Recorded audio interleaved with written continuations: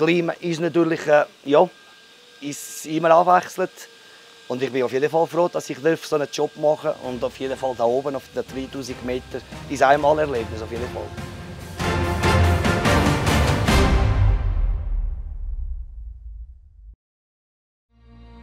Also wir befinden uns hier auf dem Piz Gloria auf 2970 Meter und haben mit Zusammenarbeit von Gelma und von Randen ein Fachwerk aufgestellt, um das Gebäude abzustützen. Das Ziel der ganzen Konstruktion, die wir hier sehen, dass die, der ganz lange rote Stahlträger, zwei Turm, das war eigentlich, dass wir das Satteljoch für das äh, bestehende Seilbahn empfangen können, dass sie die neue können, äh, renovieren oder eigentlich eine neue bauen. Was noch ganz wichtig ist, eben, dass wir die mittleren Träger, die 214 Meter, die sind 3,3 Tonnen schwer, eine. Und der Hämmer muss natürlich ganz präzise und immer ganz vorsichtig mit dem Wetter, das da oben ist, Wintergeschwindigkeit und alles, dass wir sauber einsetzen können.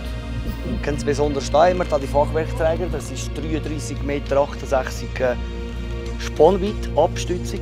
Da ist jetzt Gesamtlänge ist natürlich 34,50 Meter. Also haben wir es eigentlich sehr gut gemacht, es hat gut geklappt. Bin mehr als zufrieden. Ja.